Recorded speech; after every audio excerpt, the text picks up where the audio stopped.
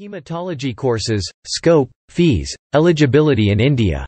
The study of blood, blood-forming organs and blood disorders involving their cause, prognosis, treatment and prevention, is called hematology. The healthcare professionals who are trained to focus on patient care and perform tests for diagnosis and treatment of these disorders ranging from anemias to blood cancers, are called hematologists. Eligibility for becoming a hematologist.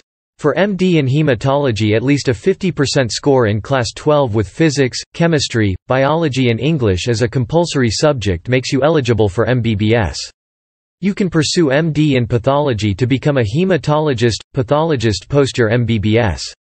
Admission procedure. Admissions to most of the top government colleges, universities, institutes are carried out based on a common test like the NEET exam. Many private institutes also accept NEET scores for admissions. NEET exam is scheduled for both undergraduate and postgraduate levels separately. Salary. The average salary of a hematologist is, around 15 to 20 lakh per annum. The average salary of a hematology technician ranges from 2 lakh Indian rupees to 5 lakh Indian rupees.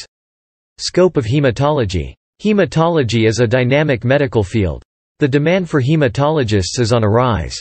Countless people are suffering from blood-related diseases and cancers and an increase in the aging population.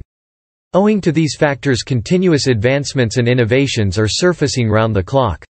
You can also opt for teaching in medical schools and colleges once you complete your degree. Skills required. Hematology is a cognitive branch of medicine that requires a high level of clinical expertise, ability to receive, prepare, and interpret blood and body fluid samples, Outstanding teamwork and interpersonal skills. Analytical mindset with good problem solving. Hematologists work closely with physicians, pediatricians, oncologists, to monitor the health condition of a patient. They even directly care for patients suffering from life-threatening diseases like sickle cell disease, anemias, leukemias or lymphomas. Many also undertake research to improve the survival rate. Hematologists thus are vital steps in the road to good health. Thanks for watching. Please like, share, subscribe.